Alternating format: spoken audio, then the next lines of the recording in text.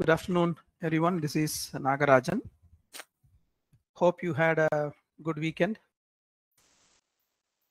Uh, we will will publish the test results. Uh, I think you would have got the score already. Answer keys we will be publishing in the JIT tonight. Okay. How many of you wrote the test? Can you please raise the hands?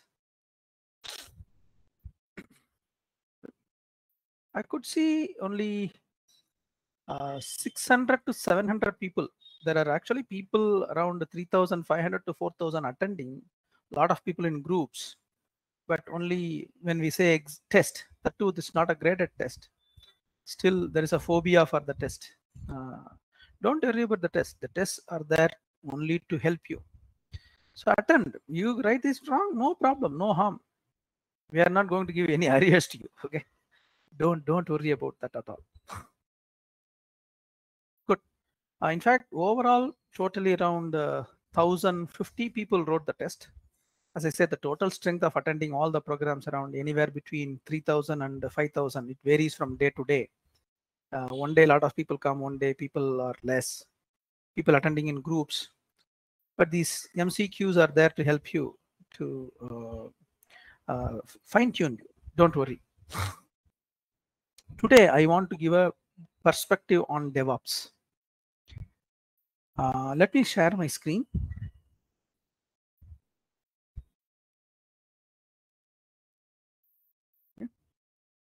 So this is my screen. Uh, if you look at any operating system, right, you will uh, you will do dealing with files. You will deal with files. You will have a folder, you will have a subfolder, then you will have files under the folder. You add file, delete file, change the uh, security of the file. So if I go to this file, do a right click, uh, show more options or properties, you could see all these things. And then there are security aspects. This is exactly where your read, write, execute that comes. The only difference between and you go to a notepad file. All right, today is uh, 6th February 2023 DevOps session. So files, folders, processes. So you go to any of these processes, Skype or other install software you will be installing. You'll have processes, you will installs and then uninstalls and then list. This is what you do. Only difference is windows and mac have a great ui not all linux and unix have a great ui so which is the linux that has got a good ui uh, in your opinion Krishnan Sorry, Ubuntu, ah? Oh, yeah, Fedora, Ubuntu. Yeah, Ubuntu, Ubuntu. So Ubuntu, again, you will have the same thing. Whatever you do to the shell, you will do on the uh, uh, UI also. That is the only difference. So Ubuntu has UI, but we are so used to Microsoft for a longer time than the Linux. So it may take some time for you to adjust. And again, have you gone through uh, FTP and other things, uh, Krishnan? No, today we be. Not yet. Okay, today. So Yeah. what I do is, for me, I go to the notepad like this. For me, highlighting, copy paste, etc. is very easy. Whereas doing through VI editor is a pain. So there are now tools which you can do it on your Windows environment, pass it back to Linux environment just by one one uh, click. So the the di- real difference between uh, Windows and uh, Linux is very very minimal nowadays. With Unix, it was good. It was it was huge because we didn't have a proper UI. Whereas now with Ubuntu and other stuff, we don't see any difference at all. In fact, many people use Ubuntu as the base OS in their uh, system. But server side, server side Linux rules, no doubt. Okay. In fact, for the last uh, 20 years, the last 20 years, we have all our servers only in Linux. We I never had a Windows server for our company. So server side Linux rules. Absolutely no doubt. So you need to know on the server side, you may not have always Ubuntu. You may have Red Hat, you may have Fedora, you may have uh, uh, some other one, right? CentOS. So you may have to know all these concepts in the basic OS system. That is why we have this. Let me show you another screen.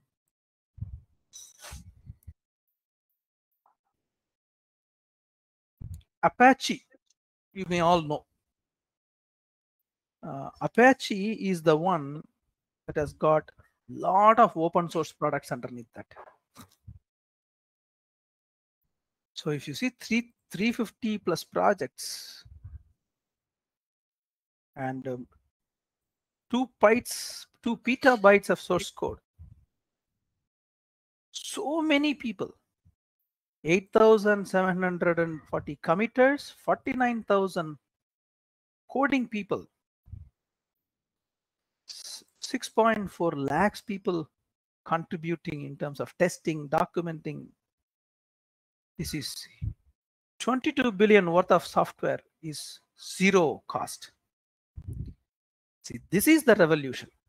These guys are real, real donors. These guys are real, real contributors game changers of the world. If you look at their products, the product list in alphabetical order, whole lot of uh, right from Hadoop to uh, Apache Tomcat server to Cassandra, whatnot. Everything is available right here. If you see here, Kudu, Hadoop, uh, do you see Hadoop here? or something uh, uh, Hadoop here. CouchDB, Apache, Tomcat, uh, Kafka, all these things, right? These are all the ones that are uh, Lucene search engine, top-notch products, amazing products. This is happening because of open source. And remember that in software, if someone has to make this download available, okay, if this download has to be available, pretty much we have this uh, JIT Open Mentor GitHub, right? So you go to soft skills or full stack development. Every day there are so many commitments, uh, commits, code commits are getting in and you could see 2nd February there is one code given, 6th February there is another code given. Everywhere, whatever is available, whatever is done by people, that should be made available to other people. And who enables that? In fact, Krishnan and his team only created the GitHub repository. They push the code or documents on a daily basis in our organization for our clients every day in and day out there are at least 20 projects going on on a daily basis every day this devops is the one that builds the software that pushes the software to the right place that maintains production this is this is main thing devops maintains all environments usually there will be a development environment. PC has to be made ready. Software has to be installed. Access rights must be given. Development. Then DevOps is needed. Testing. Then staging before going to production. Then production. At least there will be four environments for all the software. So we have our own test environment, our own development environment, our own production and staging. every day, every single day. Okay. Let me just for a moment stop my screen. I'm going to show you something. This is our live Skype. Okay. Is our live Skype. Just one second. I'm just going to once again share my screen. At least I can show our office stuff to you, not a problem. I'm going the Skype, showing the Skype now. If you look here in this one chat, okay, lot of issues closed, this, that, etc. Now, someone has to verify whether mail is gone, where mails are being sent or not. Then someone has to say whether the admin, uh, uh, I hope admin type is available in production. Then Geno is saying, yes, done. Then somebody is doing then, we will have a demo, please deploy. Geno is mentioning deployed in data libre environment and production environment. Right? This is one rolling notice board for our company of this just one product, hyper automation. We are talking about so many instruction is coming. DevOps, please move this. Testing team says this is not working. Somebody says it is working. Somebody says it is not working. Somebody says it has to be deployed now. Mail is sent or not. Okay. All these things are possible only by DevOps. DevOps is the bridge between dev, test, users. If a developer, if all my developers do not come to work, okay, one day, I'm, I'm, I'm okay with that, not a problem. All testers do not come to work for one day, I, I'm okay with that. But all DevOps do not come to work for a day for some reason, company cannot run because if anything goes wrong, if anything has to be installed, anything has to be started, DevOps is a must. And now I will show you one more screen. Imagine Apache is maintaining so many products. And I'm showing you one more screen. This is Apache's daily test schedule, only for testing. You see here builds.apache.org. Build meaning developers code. You have to build, you have to take the code, compile it, build it as a package, push it somewhere else for testing or production. If you see here, lot of products. For every product, it is showing build 23, Kafka, a build is in progress. So many tests are being done. If I click here, okay, under Kafka, what is going on?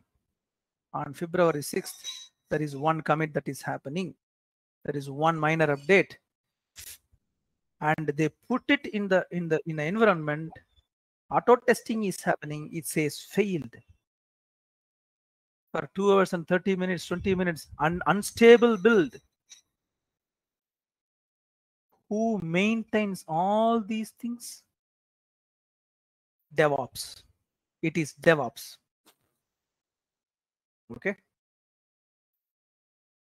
so many products development, testing, commitment, all happen. Okay. Atlas product. So my faces product, Royale product, Lucene product, Solr product. I click here. What happened to the Solr product? Again, this is the last build 40 minutes ago. It was finished. Great. Whether it's a it's a green or success, anything it will say, right? So what happens within in, in industry is remember these things. Your IDE coding environment developers use test tools like Selenium, JMeter, and build on 2A deployment auto test, release. And from coding environment, multiple developers will push code to JIT. Then build the application. This developer's job. This developer's job. DevOps, install DevOps, DevOps, DevOps, testing and DevOps, DevOps. After coding, what happens? QA and DevOps, they take over. Without them, product will not be a success. So, understanding operating system and database is a very, very important area, especially operating system part. The reason why DevOps came, developer RQA should be able to build, deploy. No, I will wait for only that uh, DevOps person to come. Everyone should know DevOps. If you need to know DevOps, DevOps needs strong OS funda. If you do not have a strong OS funda, you cannot get into DevOps. Lot of you go to Indeed. Let us see in Indeed whether there is a job posting for okay. Indeed.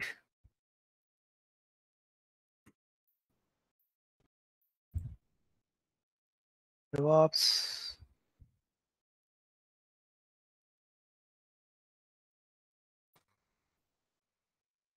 What happened?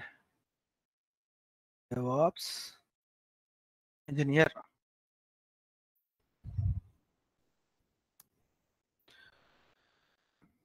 See, you get a lot of search results coming up. You can narrow down. Uh, does it show how many res- uh, search results came?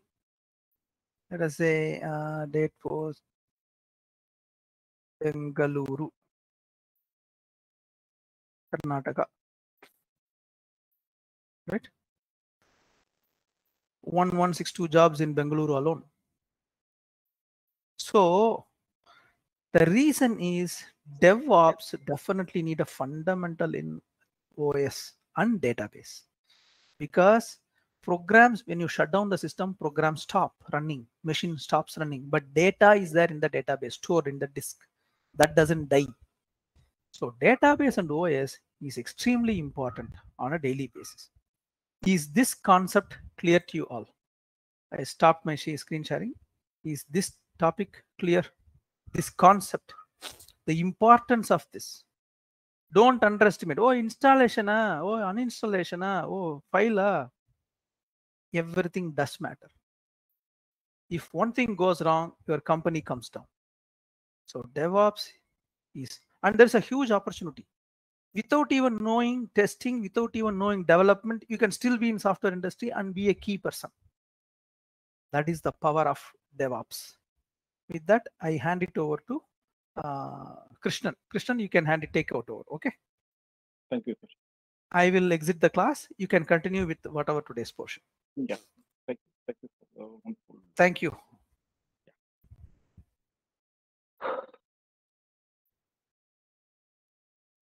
So good evening to all. So today what we are going to see is the topics is the VI editor and the grep command in Linux and the word count and how to see the users. We, we, we were created the user, right? The user were uh, there in the Linux system already there, right? So how to check what are all the users are there in the Linux system and how to check the OS versions and how to know the processor information. So these are the things we are going to see today. So one by one we will go through. First, let us check the OS version. So in Windows, I'm sharing my screen.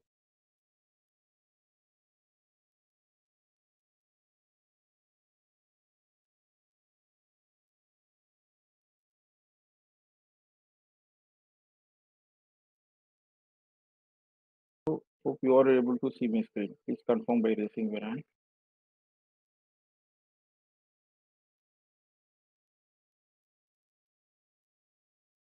So in Windows, how do you check the OS version? By clicking on the uh, File Explorer and uh, right click the this PC and click on the properties. You will have the OS information, Windows specific. See here the Windows edition, what is the version of Windows and what is that uh, type is single language, something like that, and what is the build number, something like that. So like that, how do we know the OS, what is the OS version if you, if you are not aware of that? Say for example, uh, in your uh, company, they have given the server, so you want to know that what is the OS installed in that server. So through that, so how do you know that? So for that, we need to use the command called slash etc slash etc. I have already told all the configuration files will be there in the etc. So the OS related configuration uh, information will be under the lsb hyphen release file. So inside that, those information already stored. So if you uh, see the file content without opening the file, you you're we are going to use the cat command. So I'm using the cat command to to um, display the content of the lsb hyphen release file. So it is a file. So it displays the version. So what is the distribution I am having? I am having the Ubuntu distribution and what is the release? What is the uh, version? It displays the 16.04. So I'm having the 16.04 and distribution. It, it is it, it gives the full full information Ubuntu OS and what is the version and it, the LTS stand for the uh, long term support. So it has a long term support. Okay. So this is what uh, you can get the information of the OS. Okay. So like that in Windows, you will have the processor information here, device specific. So what is the processor Intel Core i3 processor? I am having the i3 processor on what is the clock speed, something like that.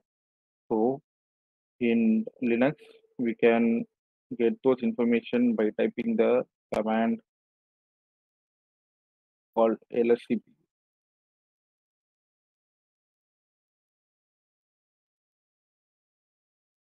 It will use the information of the processor. I'm having the 32 bit and 64 bit both, and uh, architecture it is both.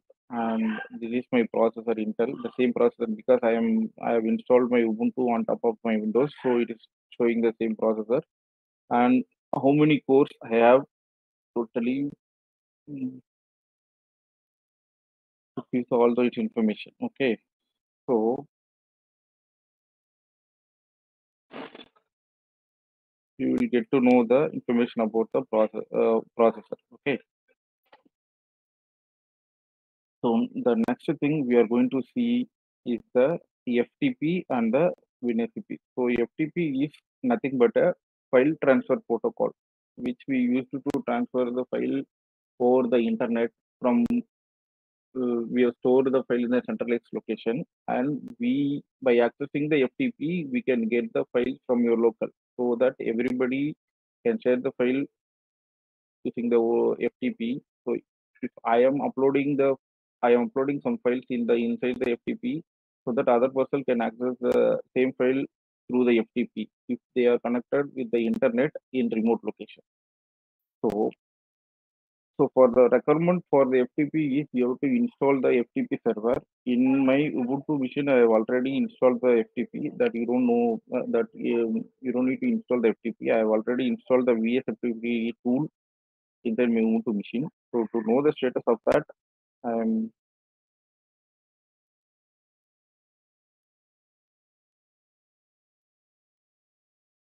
in my system the VS FTP is running. So how we are going to access the FTP? So through the client, you can access the FTP. There are a lot of FTP client tool is available. The most famous tool is called FileZilla. So I have installed the FTP in my Ubuntu machine in the terminal in the uh, Ubuntu server. So from the server, I'm not able to put the file or get the file. It is not possible because I have only limited to the command line, not the GUI. Graphical interface I don't have. So for that purpose only, we are going to use the FTP. So to, for accessing the FTP, you need to have the host name and username and password. So I have already have it. So by opening the FileZilla software, you need to give the host name here. So how do you get the host name? By typing the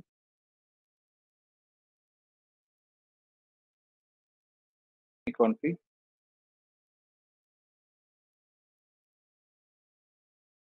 ifconfig. In we, Linux, it is ifconfig. Windows only we are going to use the command called ipconfig. So by executing that command ipconfig, we are able to get the IP address. Okay. So this is the my Ubuntu server IP address that is 192.160.1.9. So I am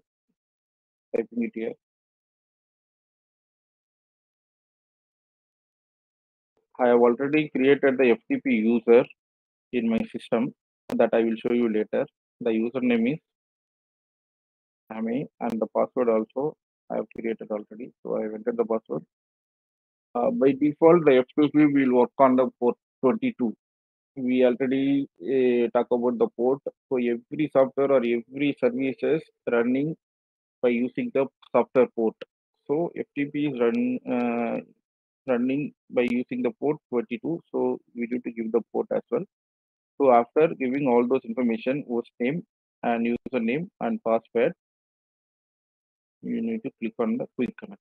So if you're seeing in my right hand side, there is no folder and files are not displayed. If the moment I click on the quick connect, we are able to get the content on my right hand side. See here. So I have created uh, the user under the home directory. The by default, the user home directory will be created under slash home. And under the user directory, I have created a folder called FTP. Under the FTP, I have created a folder called files. So under the files, if I can put the file.txt, I can transfer it to my local machine. And if you want to transfer the files into your Win, uh, Ubuntu machine from your Windows, you can simply just drag and drop something like that.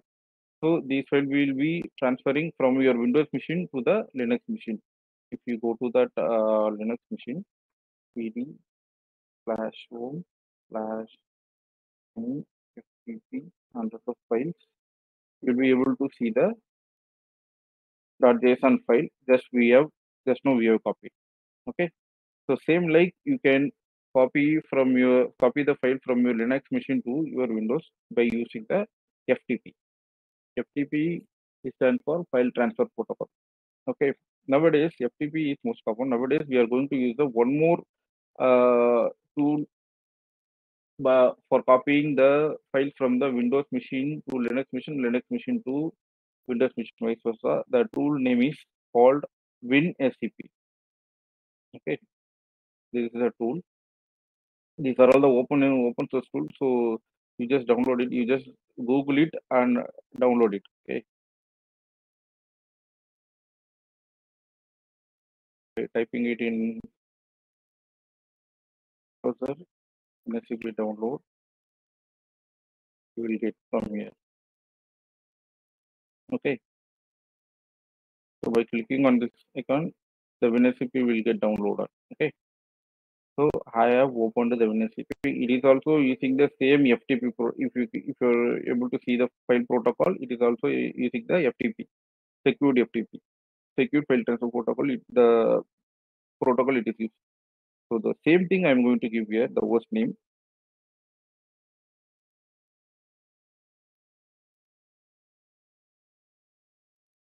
I'm going to use the username. My system username and the password. So for this WinSCP, you don't need the FTP installed in your Linux server. Either FTP is there or not, that doesn't matter for WinSCP. For the FTP client, you need to have the FTP server configured in your Ubuntu server. But in the but for the WinSCP tool, you don't need to have the FTP server installed in your Linux server. Either it is there or not, that doesn't matter. You can uh, with specific to FTP, you can access only the uh, folders under the FTP you by using the FileZilla. But in the uh, WinSCP, you can access the files under the user's home directory. Whatever the user you are logged into, you can access all the files and folder, whatever belongs to the Ubuntu user, you can access. You can copy, you can edit, uh, or whatever you, you want to do, you can do it in a graphical interface itself. So I'm going to log in as a Ubuntu user. So in the left hand side panel, you are seeing some files and folder that is that is uh, that folder belongs to my Windows systems folder. See if you- if you're able to see that C colon users my PC desktop. So these files are will be in my Windows desktop. The right hand side files and folder belongs to my Ubuntu server, which is under the slash home and slash Ubuntu folder. So if you want to open the log file, you can directly opening by right clicking here. Instead of that, uh, getting into the terminal and putting the VI command and putting the file name, you can directly open using the WinSCP. Okay.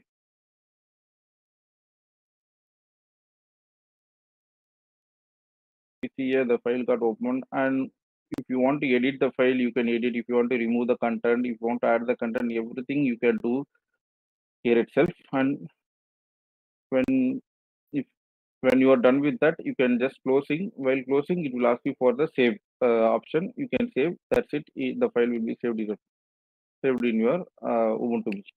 If you want to transfer the files, you can just drag and you can just drag and drop simply like this. So the TCP Java file will be in our Linux machine under the Ubuntu home folder. By you want to see that by doing that, cd slash home slash Ubuntu. TCP Java file it is there. Previously it was not there. While I am copying it, it will be copied into your Ubuntu server. So these are the tools that we are generally used to, to transfer the file from Windows to Linux, Linux to Windows, vice versa. Okay.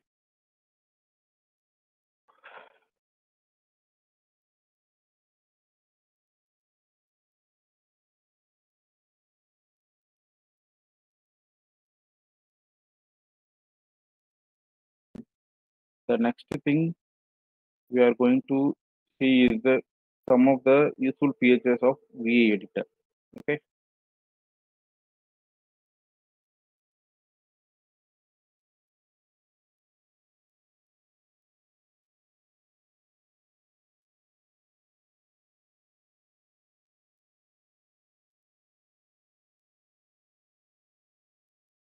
You all know about the VI. VI is a editor tool used to open a file and edit a file. So you all know about that. So I'm going to show the few useful features of the VI editor. So let me open the file called my file. So by typing the VI and put the file name. So these are the content inside my file. Okay. If I want to insert few more lines inside the VI editor, you need to press the I button. By pressing the I button, if you see the top of the line, it is not, we are not in the insert mode. The moment you press the I button, it will take you to the insert mode. So by typing the I button, it will take you to the insert button and you can add whatever the line you want. Add a, a new line. New line. Okay. So by typing, so if you want to exit from the insert mode, you need to press the escape. And if you want to save the file with the added line, you need to press the shift colon and wq. W. W stands for write and Q stands for quit. So the moment I press that shift colon and WQ, the the file will save the content and it will exit. If you can see, the line will be there.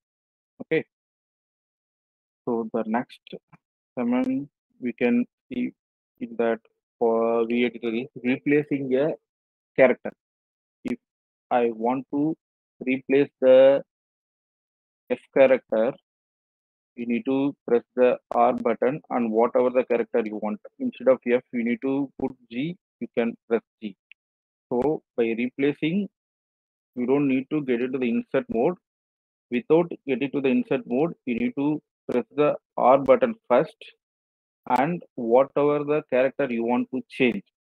If, if I want to change from G to D and press the D button. So it will automatically replace the character G into G by D. So this is by doing this you can perform the replace of the character. Okay. Then I want to delete a line. If you want to delete a line, you don't need to uh, uh, press the back button or press the delete button by giving the DD command without going getting into the insert mode by pressing the DD. So you need to press the DD button two consecutive times DD. So the first line will gone from here. Okay, by doing this, you can do the delete operation. So if you want to perform the undo operations, so accidentally you are deleted the line.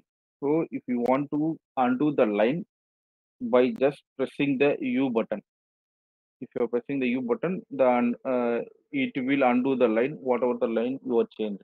So by doing the pressing the U, it will uh, do the undo operation. Okay. So for deleting the line, you need to press the DD button. You want to perform undo operation, you need to press the U button. Okay. For deleting the line, you need to press the DD for twice. Okay, not single D. Okay. So if you want to delete multiple lines, so how you are going to perform? So by typing the numeric, so say for example, I want to delete the uh, three lines from where my cursor is. Okay. Right now my cursor is on line one. So from the starting of the line, I want to delete the three lines. By uh, for doing that, you need to press the numeric three and type the DD. So it will delete the first three lines. For, not the first three lines, wherever your cursor is there, from there it will delete the three lines. Okay. So by typing the numeric three and followed by the DD, it will delete the three lines. So I am and I am undoing it. Undoing it, you you are going to use the Y button. Okay. So if I want to copy the line, so we are going to do?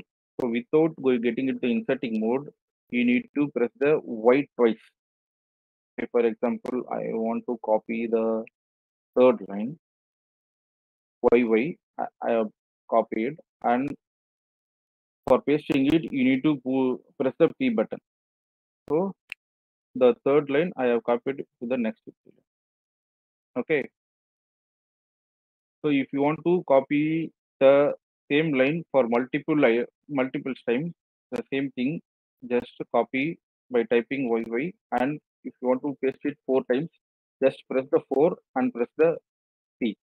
So it will paste four times. The same line it will paste four lines. Okay.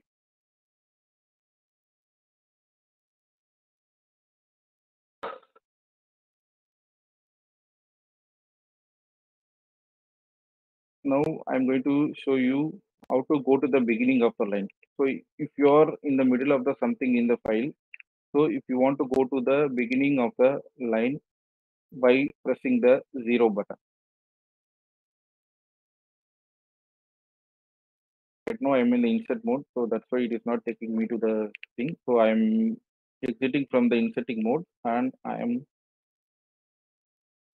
pressing the zero. It will take me to the end of the line. Okay. Sorry, it, it, will take you to the uh, beginning of the line, not the uh, starting of the file. If I am in the middle of the something by pressing zero, it will take you to the end of the line. By pressing the dollar, it will take you to the end of the line. Okay. Like the, by pressing the zero, it will take you to the end of the uh, starting of the line. By pressing the dollar, it will take you to the end of the line. Okay. And if you want to search some specific word or some specific string, say for example, I want to search a word called technology inside the file. So how we are going to do? So for that, you need to use the slash symbol and type the word you want to search.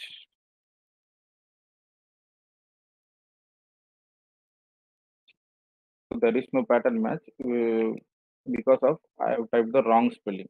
Okay.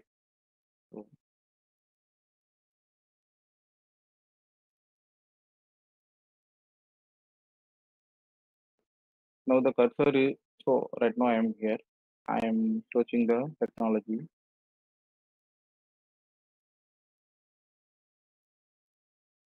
The moment I type the technology and press the enter button, it will take me to the uh, string or word. Okay. So this is where you can search the word or search the specific string inside the file. Okay. While using the slash, it is searching in it is searched in a forward manner. If you want to search it in a backward thing, say for example, if I am there, I want to search the technology in the term from the end. I want to search the word from the upper uh, upper thing. We need to use the question mark symbol, question mark symbol, and followed by the word. So it will take me to the technology. Okay. You want to know how many lines are there inside the file, you just press the Control G. Control G will give you the number of lines inside the file. Okay. By pressing the Control button and combination of the Control G button, it will show you the total number of lines in the file. Okay. So if you want to go to specific line, say for example, if I'm there in the fifth line, if I want to go to the tenth line, by doing that, you need to do colon and uh, type the 10 and press enter. So by doing that, you will navigate to the 10th line in the VI editor. Okay. Say for example, from the 10th line, if I want to go to fifth line, just press colon and 5. It will take you to the fifth line. Okay.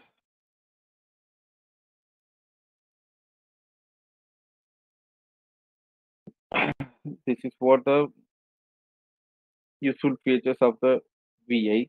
Okay. And if you want to go to the top of the line, you need to press the control U. And if you want to come to the uh, bottom of the file, you need to press the control D. Control D, it will take you to the last line. Okay. Just scroll up and scroll down. Scroll up means control U, scroll D, control D. Okay. And if you want to delete a character, just one character, you need to press the X button. If you are pressing the X button, it will delete the A character from here. Okay. And if you want to delete a word from the where your cursor is there, you need to press the DW button. If I'm pressing the DW button, the ADDE will gone from here. Okay. Yeah, like this. Okay.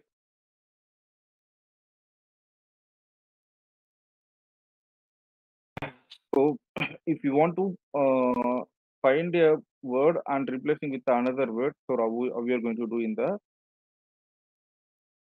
VI editor. For doing that, you need to press the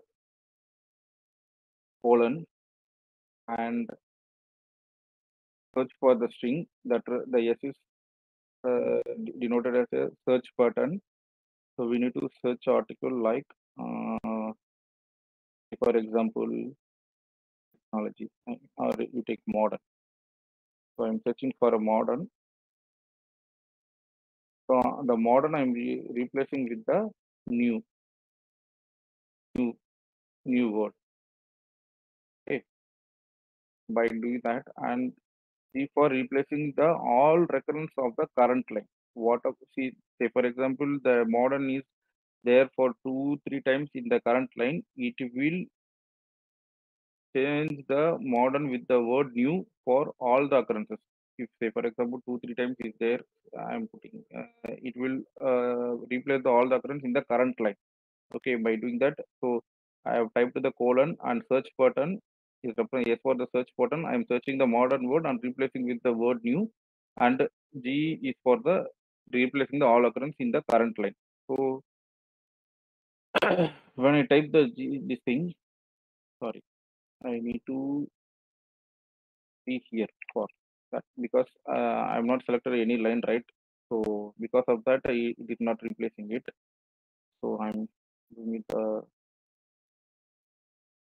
sorry, I forgot the percentage thing here. So we put percentage yes and followed by the modern modern and I'm going to replace it with the new. So it will replace the word new instead of modern. So by doing that, you can do the final replace. Okay. So this is what the most useful features of the VI editor. I am going to share the VI editor command with you in the uh, question and answer section. So you can all copy and paste it in your local system. I'm sharing it with you. Okay. So the keys the we have used most useful uh, keys in the VI editor. So you just take it from there. Okay. So the next thing I am going to show you the grep command. grep is nothing but a filtering option or search option. It is basically search. Okay.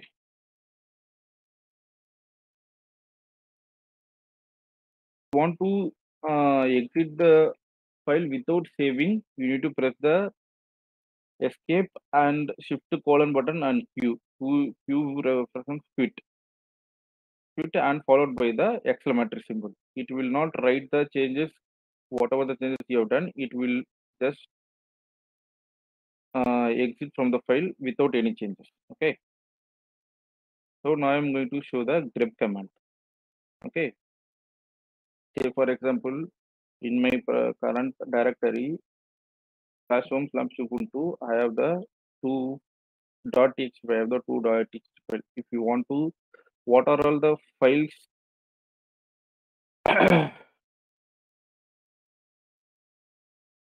for example, grep file star something.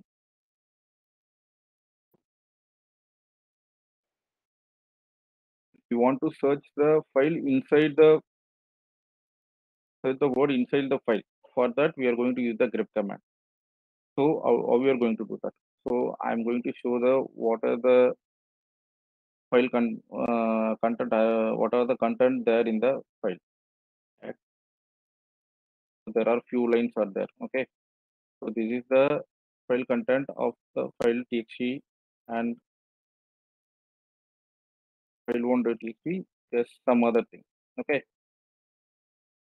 So if you want to search the specific word in both the files so let's say example if i'm taking the who okay? If uh, i want to search the word who from both the files i want to give the syntax like grep followed by the word you want to search and the files whatever the file i i have said file dot star. So it will search for the these two files only. Whatever the uh, file after that whatever is there it will search all the files. So currently right now i am i have it in i, I have two files only. So it will search within the two files only. Okay? So if you see the output it will first show the file name file.txt is having the who word if you see that content of the file 1.txt, it does not have the who word. So it will only show the file.txt content only. Okay. So I'm going to search the another pattern. Today I'm going to search. So if you see, today is there in file 2 and file 1 as well, but it is showing the only one output. Why is that? Because by default, Linux is taking that Linux is a case sensitive thing. So if you want to search the word small letter, you need to give the small letter. If you want to search the capital letter, you need to put the content in the capital letter. So it by executing this command, it will show you the content of the file 2 only. It will not show you the content of the file txt. File 1 txt content only it will show. Why is that mistake? Is two day. I made a mistake. Two recap and AY. Yeah. So like this you will get. So if you want to get both the files content, whether it is a case sensitive or it is a case sensitive, you need to use a command. You need to option the I option. Okay. grep hyphen I. I represent a case insensitive. So if you're going to use it, use I, we call it a switch. After whatever the hyphen is, uh, after whatever the character after the hyphen, we call it a switch. So If you're going to use the switch I, it will give you the output for both the files. It is a case insensitive. What the the word, the exact word it will give. It does not look for the case, uh, whether it is lower case or it is uppercase. It does not look. Okay. So this is what this is uh, uh, by doing it you can get the content inside the file. You can search the file. Okay. If you want to know the line number of the file, you can you can add the n. n you can add after i you can add the n. It will show you the line number. So from the fi- file 1.txt, it will have it will come on the third line, and in the file.txt, it will come to come on the fourth line. So it will give the line number. Okay. So these these are the some useful features of the grep command. Okay. So now I'm going to show you the so if you want to know how many lines are there inside the file without opening the file, okay, how we are going to do? Say for example, the file one at txt. How many lines are there inside the file? One, two, three, four, five. There are five lines are there. Okay. So you want to know the how many lines are there in the file without opening the file. So how do you do that? So I want to show you. By doing that,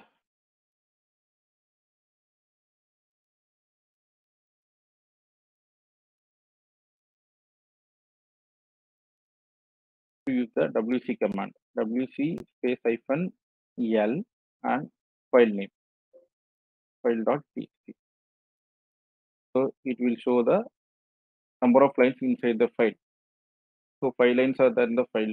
If you want to know how many words are there in the file not the line how many words are there in the file. So you need to use the wc hyphen w. It will show 14 words are there in the file. Okay? So like that you, you can get the information of the file. How many lines are there? How many words are there? Something like that you can get. Okay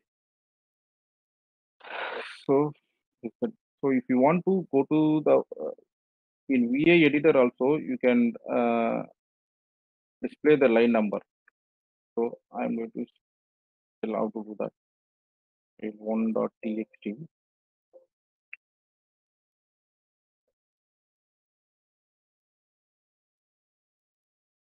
dot txt so if you want to uh, show the line number you can need to press the colon and set space number.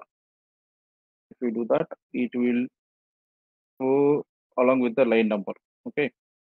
The command is set colon set space number okay?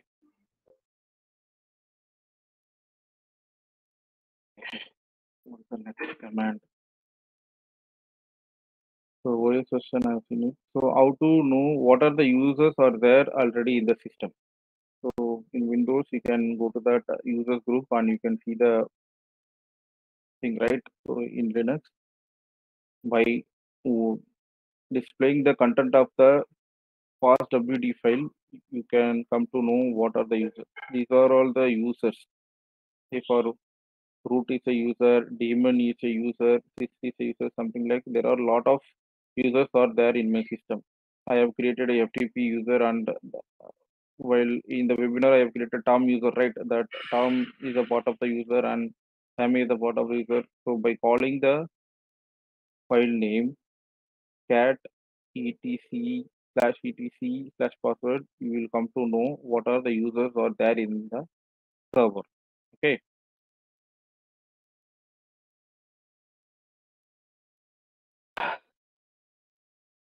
Okay. So with this, I am stopping the webinar. If you have any questions, you can ask in the question and A window. Okay, I'm stopping my recording as well.